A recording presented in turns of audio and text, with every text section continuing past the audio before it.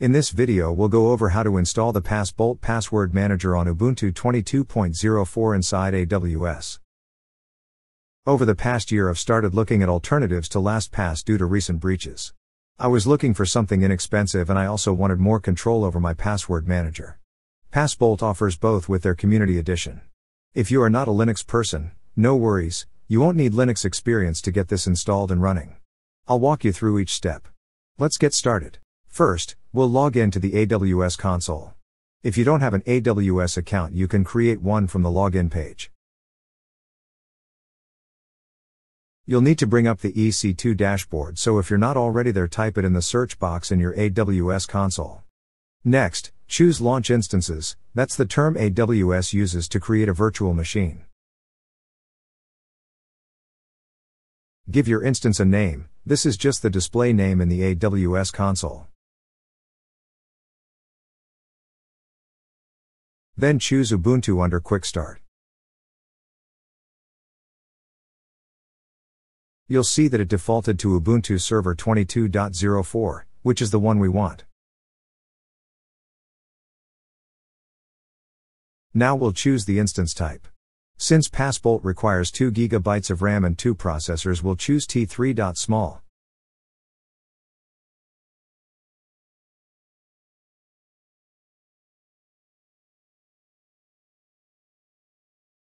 Next we'll create a key pair so we can remotely access our Ubuntu instance. Go ahead and click Create New Key Pair. We'll keep the defaults. Oh guess we do need to name it.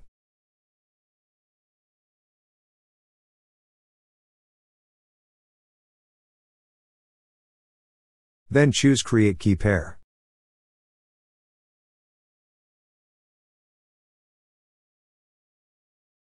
We are going to create a new security group and open ports 443 for web access and port 80 for our SSL registration and renewal. SSH is already open. We'll limit access to that later. Now let's set the disk type and size. The default type is GP2, but we'll change it to GP3 which is about 10% cheaper. We'll up the disk size to 30 GB. Let's also encrypt the disk, and use the default KMS key. All set. Let's launch the instance.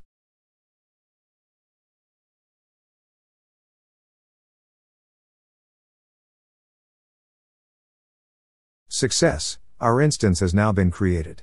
It will start automatically. Let's check the settings and specifically the public IP address. I'm using AWS Route 53 for my domain records, so I'll create an A record using this new public IP address.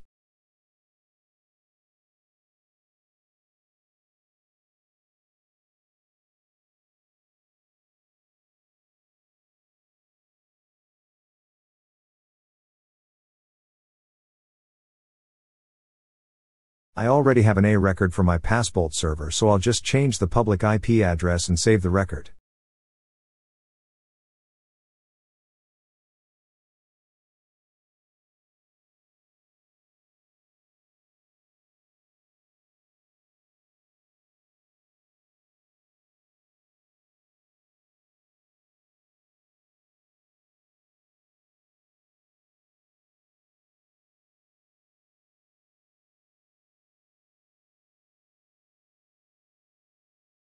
While our DNS record propagates, we'll download and install PuTTY so we can access our new instance.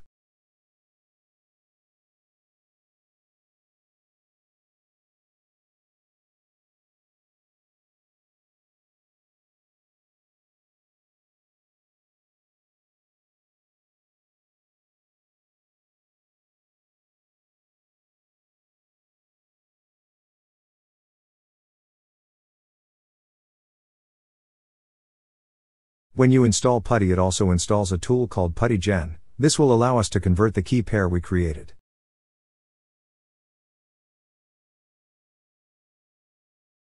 First choose load and grab the PEM file we downloaded when we generated the key pair.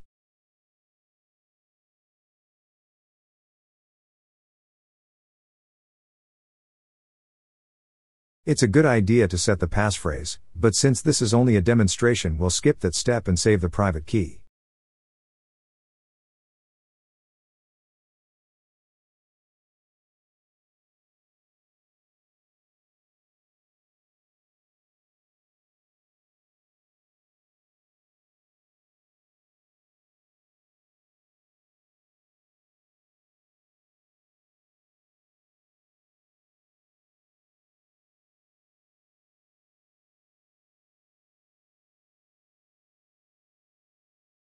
Okay, time to get PuTTY set up. Let's launch PuTTY. We're going to import the key we just created using PuTTYgen.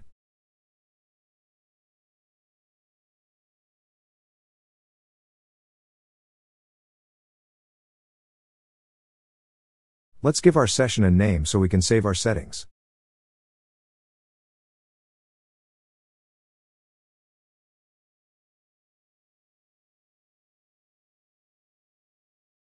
We need to go back and save the public DNS name from our AWS console.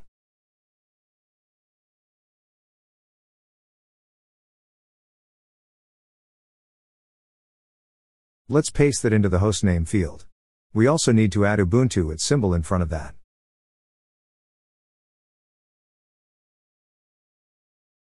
Hit save then open so we can get to our SSH session.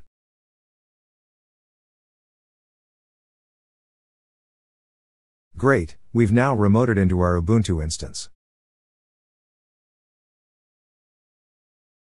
Now we need to update any packages that are already installed on Ubuntu by running sudo apt upgrade.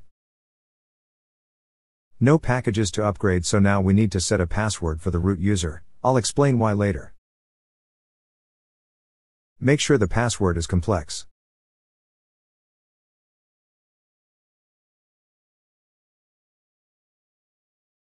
Let's now set the hostname with sudo hostnamectl set hostname.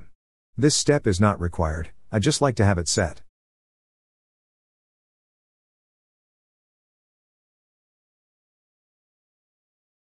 Next let's set the time zone. Again, this isn't required. Type in sudo timedatectl set time zone and the time zone you're in.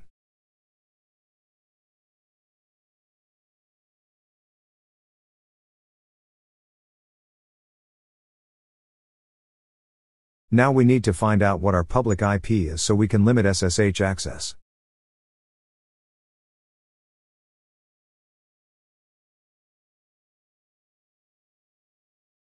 Copy it so we can paste it in the AWS security group settings.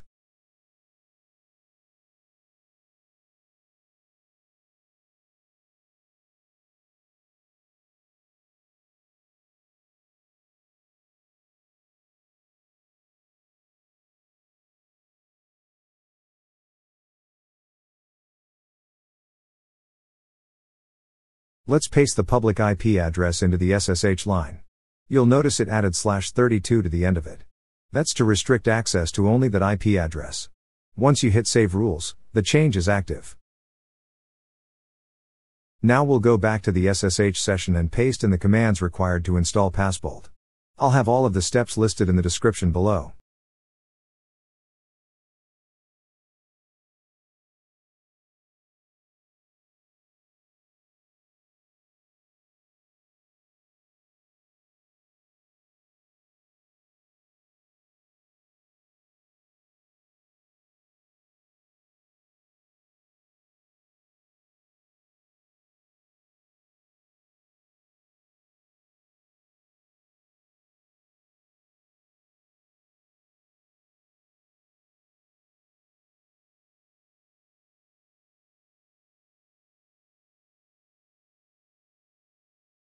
Before we go any further, we need to verify our DNS record is live for the SSL setup with Let's Encrypt.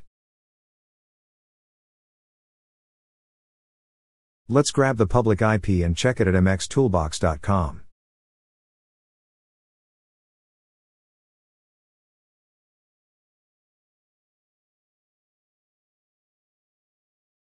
Perfect. Now we can proceed.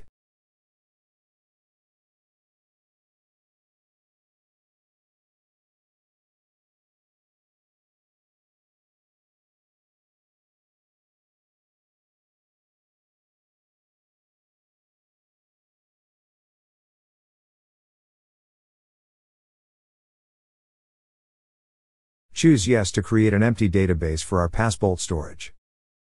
If you remember from earlier, I told you we would need the root login. This is to create the database, and the root password for the MySQL admin password.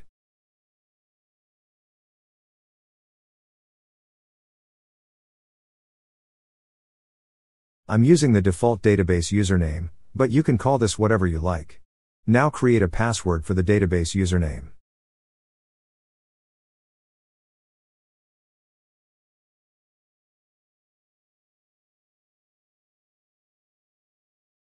Now name the database. I went with the default. Choose Yes to configure Nginx. We're going to use Let's Encrypt to auto-generate our free SSL certificate so choose Auto and hit OK.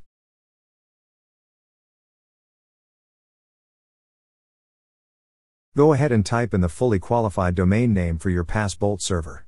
This is the DNS name you assigned earlier. Type in a working email address so Let's Encrypt can send you notifications.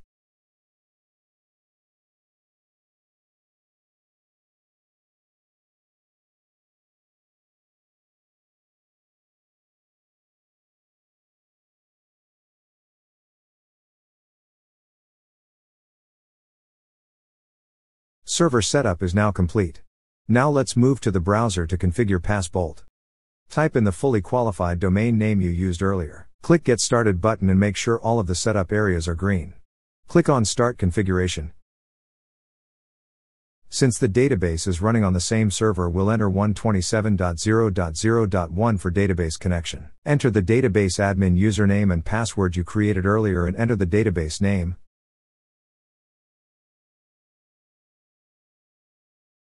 Click Next.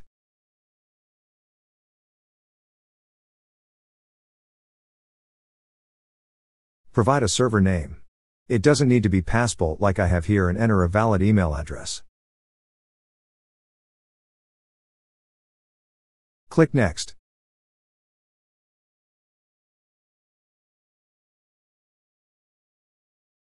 OpenPGP relies on the time of both your PassBolt server and the computer you're using for setup. This error can occur if either time is off.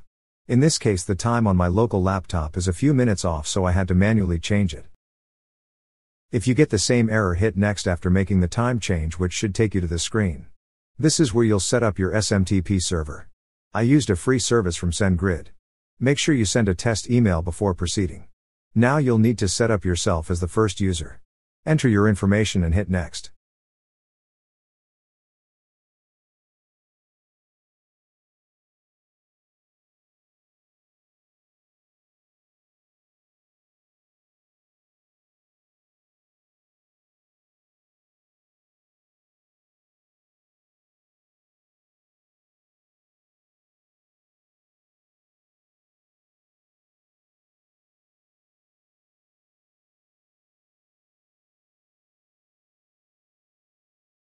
Now we'll download and install the PassBolt extension for Chrome.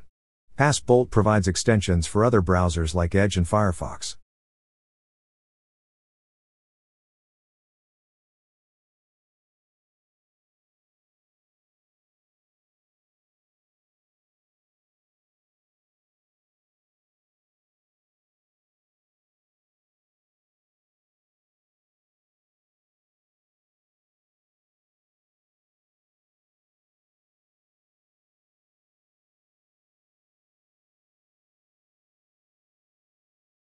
Now enter a passphrase you can remember.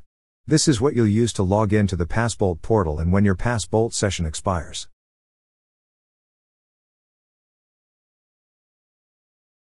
Make sure you save the recovery kit file someplace that you can access it. If you forget your passphrase and don't have this recovery kit, you're out of luck.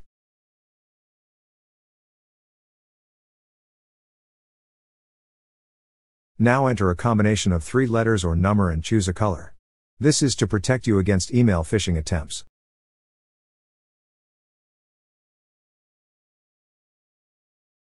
We've made it to the administration dashboard. This is going to look a little different for users. They won't have the administration and users tab at the top.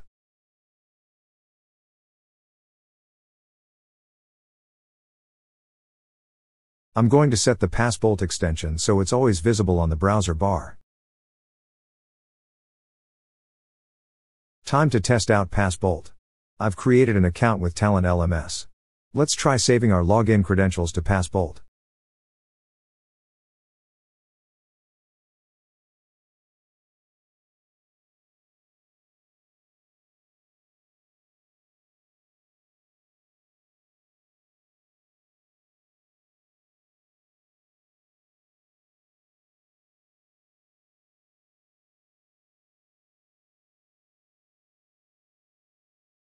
You'll need your passphrase from earlier if you haven't logged in.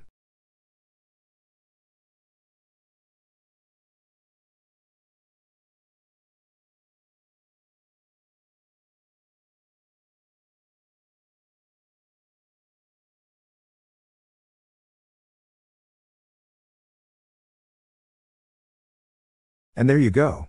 We've saved our first login credentials to PassBolt. You should see Talent LMS listed in the PassBolt portal now. If you have a bunch of credentials you would like to import, you can use the import button. This made it very easy for me to import my credentials from LastPass to PassBolt. In this video we created an Ubuntu server running on AWS. We prepared the server then ran the necessary commands to install PassBolt. Next we configured PassBolt from the browser and tested it. I've added all of the steps we used to get PassBolt working in the description below. I hope this video was helpful. If it was please subscribe and give me a thumbs up.